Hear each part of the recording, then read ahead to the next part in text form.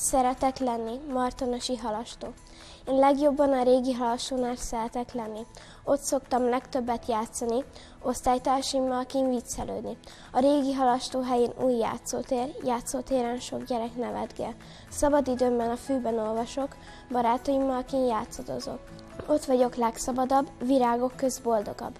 Emlékeim el nem halványulnak, mert ott az emlékek is boldogulnak. thank you